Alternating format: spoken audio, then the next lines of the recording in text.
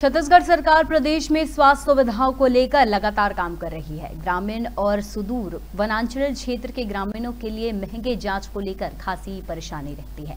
जिसे लेकर कटघोरा सामुदायिक स्वास्थ्य केंद्र में कोरबा स्वास्थ्य विभाग ने लैब ऑन व्हीकल्स का शुभारंभ किया। इस मौके पर श्रम और उद्योग मंत्री लखनलाल देवांगर ने हरी झंडी दिखाकर लैब ऑन व्हील्स को रवाना किया। इस कार्यक्रम में कटघोरा विधायक प्रेमचंद पटेल, जिला कलेक्टर अजीत बसत और समस्त प्रशासनिक अधिकारी और जनप्रतिनिधि मौजूद रहे।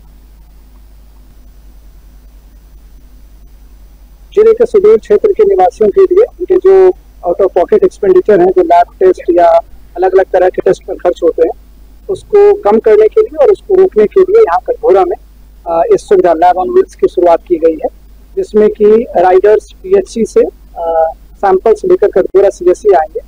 और इस सी में उनकी टेस्ट की जाएगी।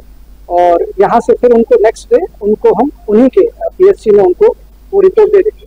इससे उनके आने जाने का समय भी बचेगा और जो व्यक्ति उनको खर्च होता था वो भी बचेगा।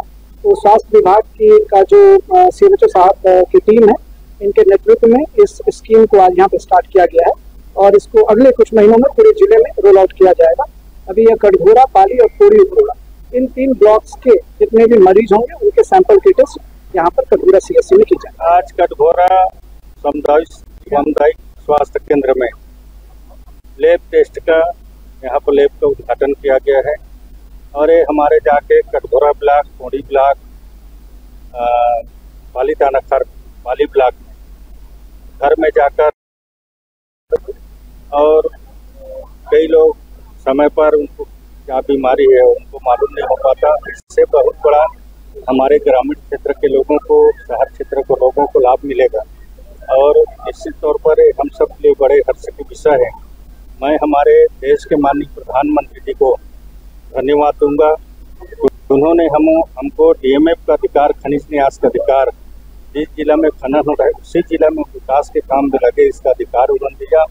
और प्रदेश के माननीय मुख्यमंत्री विष्णुदेव साय का भी मंशा है कि हमारे स्वास्थ्य, शिक्षा बेहतर हो छत्तीसगढ़ का, विकास के काम आगे बढ़े छत्तीसगढ़ में। इसके लिए भी प्रयास लगातार किया जा रहा है। माननीय प्रधानमंत्री जी ने आयुष्मान भारत कार्ड का भी लागू किया है, जिससे लोगों को निःशुल्क में पहले पाँच लाख था उसको दस लाख कर दिया है, गया है।